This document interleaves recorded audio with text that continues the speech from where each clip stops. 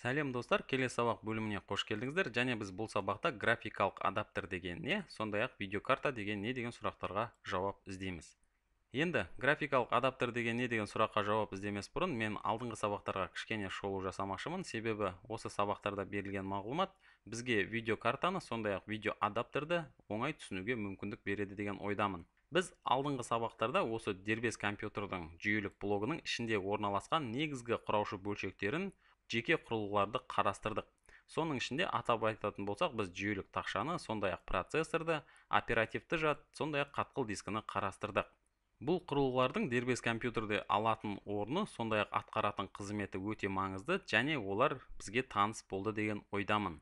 Алайда бұлар енді дербес компьютердің басты құрылғылары болғанмен дербес компьютердің басқа да құрылғылары бізге таныс және оны мектеп қабырғасынан білеміз. Соның ішінде атап айтатын болсақ мысалы шығару енгізу құрылғылары. Енді енгізу құрылғылары деп отырғанымыз ол көбіне пернетақтаны сондай ақ біз тінтуір яғни мышканы принтер сканерді сондай ақ дисководты осы енгізу құрылғысы десек болады. Яғни біз дербес компьютерге барлық мағлұматты бізге қажетті ақпаратты енгіземіз және процессор басқа да құрылғылармен бірлесе отырып оны өңдеп бізге қажетті нәтижені шығарады. Енді шығару құрылғысы қандай деген сұраққа келетін болсақ әрине барлығымызға таныс ол дисплей. Мына жерде дисплейге кішкене анықтама беріп кеткен екен және оны оқып кетуге де болады. Бұл жерде жазғаны дисплей немесе монитор бұл компьютердің экранына ақпаратты шығаратын құрылғы дейді. Сыртқы пішіні бойынша дисплей кәдімгі түрлі түсті теледидарға ұқсайды сондықтан оны жиі телевизиялық техникадағыдай монитор деп те атайды дейді.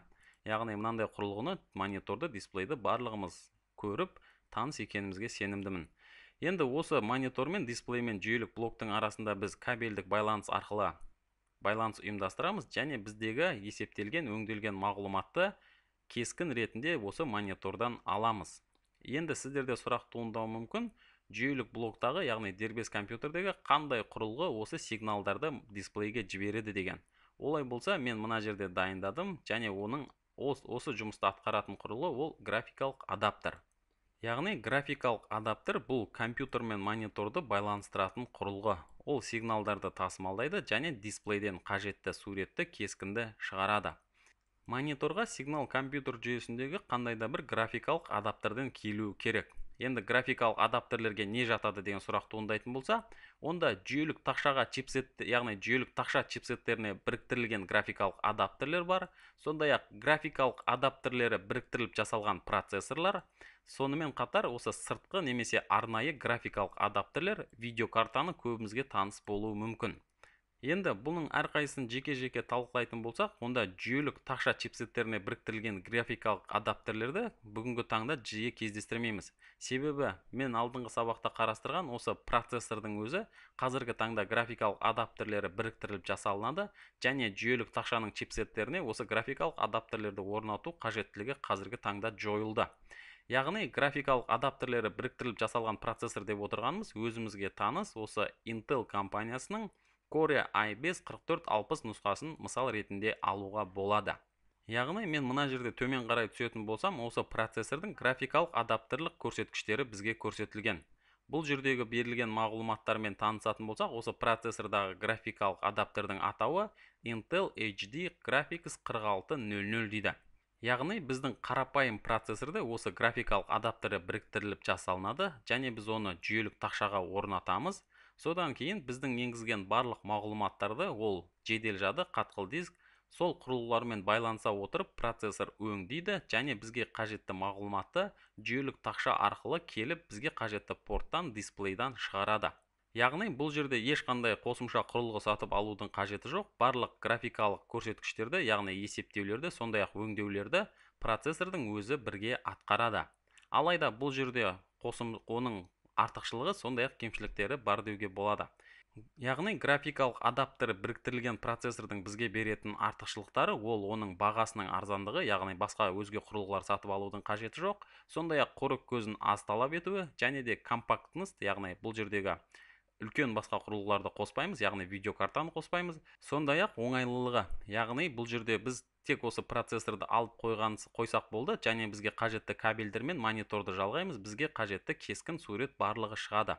Алайда оның кейбір кемшіліктері де бар яғни бұл жерде процессордың өзінің басты жұмысымен қатар осы графикалық жұмыстарды да есептеуге және оны атқаруға тура келеді. Ол қосымша жылу бөледі десек болады және біздің осы жұмысты яғни бір жағынан кейбір күрделі мәселелерді шешуге жарамсыз болуы да мүмкін. Алайда бүгінгі таңдағы осы процессорлар графикалық адаптерлері бірігіп келетін процессорлардың көрсеткіштері де тамаша болып есептелінеді және бұл кейбір қарапайым немесе орта деңгейдегі жұмыстарға әбден жарауы мүмкін. Мына жерде көріп отырған осы графикалық адаптердің көрсеткіштерін көреміз. Және бұл жердегі берілген мағлұматы сондай ақ оның көрсеткіштері шынын айтсам өте тамаша деп есептеуге болады. Және бұл біраз жұмыстарды атқаруға жарамды. Алайда осы көрсеткіштермен біз сабақ барысында танысамыз және оның әрқайсысы не мағына беретінін де көруге тырысамыз. Олай болса бізде енді графикалық адаптердің үшінші түрі арнайы графикалық адаптер ол сыртқы видеокартаны айтсақ болады. Яғни видеокарта деп отырғанымыз ол мынандай құрылғы және бұның өзінің жеке есептеу процессоры болады бұның жеке есептеу жады болады және бұл барлық мағлұматты өзінде есептеп оны өзінде сақтап бізге қажетті порттан дисплейге мониторға шығарады. Олай болса осы сабақ барысында біздің бұдан былай қарастыратынымыз осы сыртқы видеокарта сыртқы құрылғыны қарастырамыз. Бұл жерде көріп отырғанымыз біздің MSI компаниясы шығарған орта деңгейдегі видеокартаның бір түрі мысал ретінде алынды және оның атауы сондай ақ бұл жердегі берілген мағлұматтармен біз сабақ барысында толығырақ танысамыз. Жалпы айтатын болсақ осы видеокартаның сыртқы пішіні сондай ақ мынандай сыртқы дизайны сыртқы салқындағыш кулерлері оның барлығы әр тауарда әртүрлі болып келуі мүмкін. Бірақ та осы видеокартаның басты компоненттері яғни бастапқы құраушы бөлшектері әрқашанда бірдей болады десек болады. Олай болса біз енді видеокартаның бастапқы құраушы бөлшектері яғни компоненттерін қарастырамыз және олардың атқаратын қызметін көреміз. Соның ішінде бірінші жазып кеткен екенмін. Мысалы коннектор немесе шинасы десек болады ол видеокартаны жүйелік тақшаға жалғайтын бөлшегі. Яғни біздің мысал ретінде алған видеокартада көріп отырғанымыз ол PCI Express X16 коннекторы және біз осы коннектормен видеокартаны жүйелік тақшадағы арнайы портқа слотқа орнатамыз және біздегі барлық байланыс осы порт арқылы іске асады. Екінші бұл жерде жазылғаны видеокарта драйвері дейді. Ол видеокартаны басқару үшін операциялық жүйеге орнатылатын программалық жабдық дейді. Яғни біз видеокартаны сатып алған кезде оның қорапшасында бізге қосымша дискі келеді немесе ресми сайтынан. Осы видеокартаны құрастырушы компаниядан осы модельдің түрін яғни драйверін жүктеп алып біздің операциялық жүйеге орнатамыз. Және біз видеокартаны толық басқаруға мүмкіндігіміз болады. Олай болса келесі құрылғысымен танысайық. Бұл жерде берілгені graphics processing unit яғни GPU дейді. Бұл видеокартаның процессоры. Видеокартаның процессоры бұл текстураны не графикалық мағлұматтарды мониторға шығарады өңдейді есептейді. Яғни процессор осы видеокартаның ең негізгі құрылғысының бірі болып саналады. Мына жерде біз осы кулер мен сондай ақ басқа да сыртқы бөлшектерінен осы видеокартаның процессорын көре алмаймыз. Алайда мен мына жерде кулер алынып тасталынған мысал ретінде видеокартаның тақшасын жүктеп алдым. Және біз осы жерде осы ортаңғы бөлігінде видеокартаның процессорын анық көре аламыз. Және айтарым осы процессормен сондай ақ оның жадымен біз толығырақ қазір осы сабақ барысында танысамыз. Олай болса осы видеокарталардың негізгі құраушы бөлшегі болып саналатын видеокарта жады деген не дегенге сұраққа кішкене сипаттама жасап кетейік. Яғни видеокарта жады оны кейбір жағдайда VRAM деп айтып жатады. Бұл мағлұматтарды сақтайтын құрылғы. Яғни біздің сыртқы құрылғымыз видеокарта өзінде жедел жады яғни жады болады және ол мағлұматтарды сақтайды. Енді мына жердегі суретке тағы да келетін болсақ осы видеокартаның жады орналасқан чиптерді көруге болады. Сондай ақ видеокартаның BIOS деген екен яғни BIOS деп отырғанымыз бұл Basic Input Output System.